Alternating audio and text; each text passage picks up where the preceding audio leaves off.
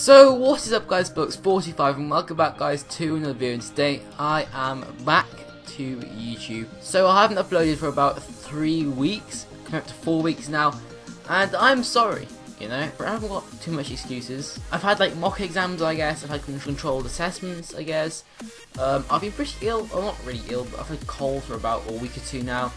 Uh, it's just about dying down now, so I'm recovering. Also, I've been addicted to Overwatch, I think. I've played quite a bit of competitive recently and I should probably just start the YouTube grind once again. We've reached 250 subscribers with nearly 32,000 views. I put a lot of time and effort into this channel and I don't want to give up now, I want to keep going. See if I can one day get to a thousand, that'd be quite nice. It is now the Christmas holidays, we broke up yesterday and the Christmas is in 8 days.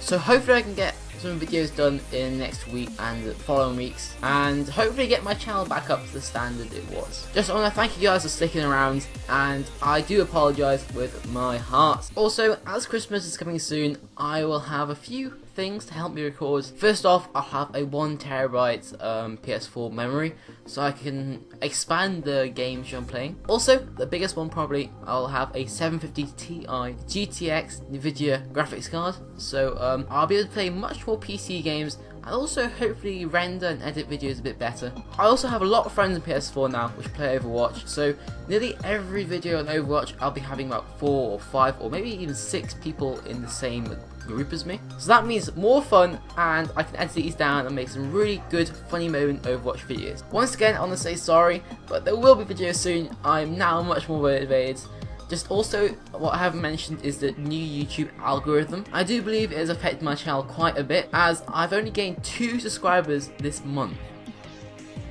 I know, that has demotivated me quite a bit, but I feel like I want to keep going. So guys, as always, please do leave a like down below, and if you are new around here, remember to subscribe. Thanks for watching, I will see you guys and girls in the next video. Peace out, bye.